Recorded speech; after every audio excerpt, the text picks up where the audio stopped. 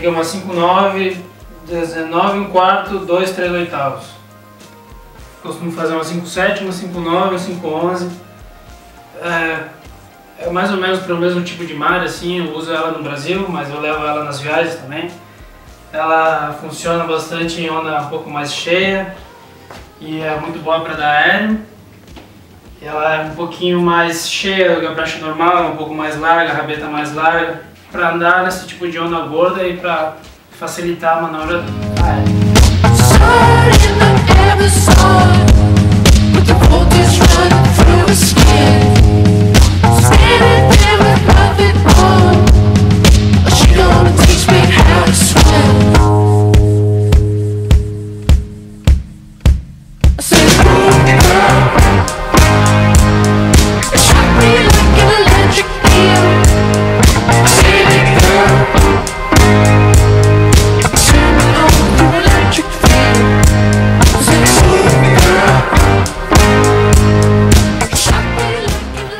Modelo aqui, o BSG.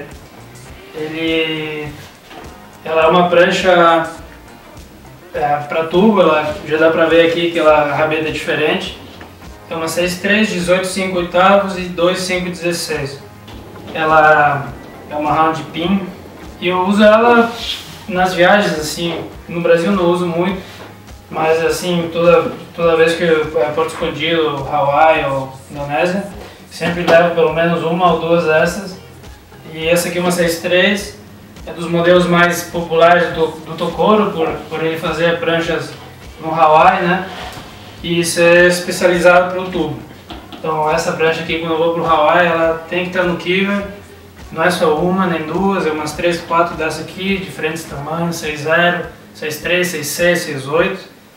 É uma prancha básica assim para, sei lá, seis, até 6, 8 pés.